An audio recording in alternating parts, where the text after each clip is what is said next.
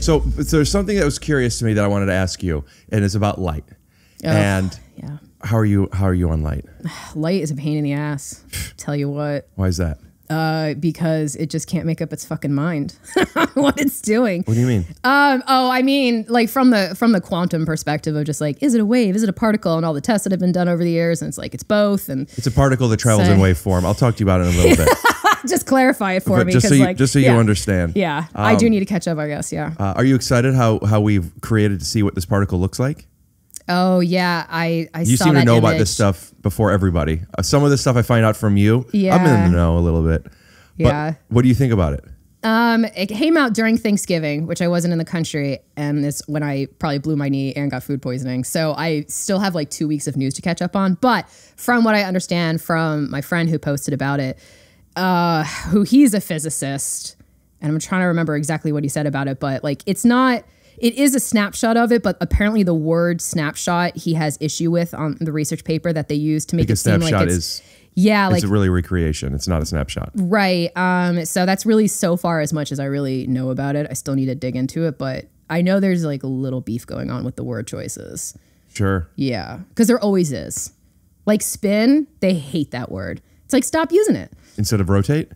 Uh, there's no word for it because it's like a quantum behavior that's we use the word spin because it's the easiest word that we have to kind of make But why? it relatable. Because because what's what what is it instead of spin?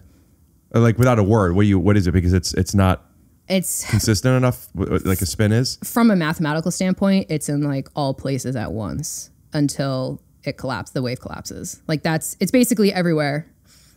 and then it decides is it?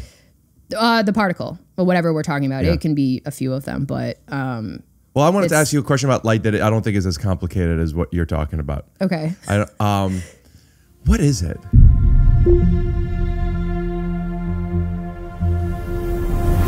Light. No, no. Um, my question is: so light, a photon. I think we should say photon instead of light, right? Is that okay? Yeah. Okay. Yeah. So a photon is created in a star, right? Yes. Now, doesn't it take like because it, it it's it it's it is it bounces off things, right? Yes. So like the, the photon is created in the core of a star, and then by the time it leaves the star, it might have been millions of years. Is that true? Because it keeps like get things get get in the way and it bumps into things. you mean for, from like it's been inside the star the whole time Yes. or traveling Before oh, it leaves the star, it takes a long time for it to leave the star because it keeps bumping into things on the way out. Oh yeah yeah it's all bumping into each other So, which means that photons bump off of each other and other things and could be redirected. But how come this is not my question? This is a separate thing. But how come when I turn a flashlight on, it doesn't bump off? Light can't turn corners.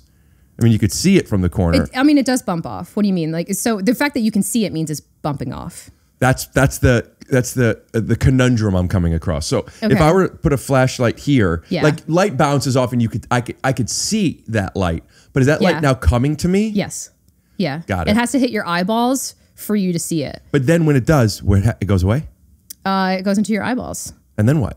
Um, that I'm not entirely sure. I know it has to do with an energy transfer with electrons or something like that. But where it goes, I don't actually know that one. because it's always bouncing off shit until it doesn't. yeah. And the bouncing off is my what's curious to me because uh, I don't really understand this, but like colors Yeah. are just it's just light refracting off of this. In different ways for Right. different colors. Yeah. right. So certain flowers that are blue, blue is on the opposite end of the spectrum as a flower that is red. Yes. Right? Yeah. So the red takes in less or more energy. Um, so is it a, you're saying it's a red flower? Red flower versus blue flower. The red flower is absorbing everything except red. So it's reflecting the red. So it's not absorbing that color because that's what you're seeing.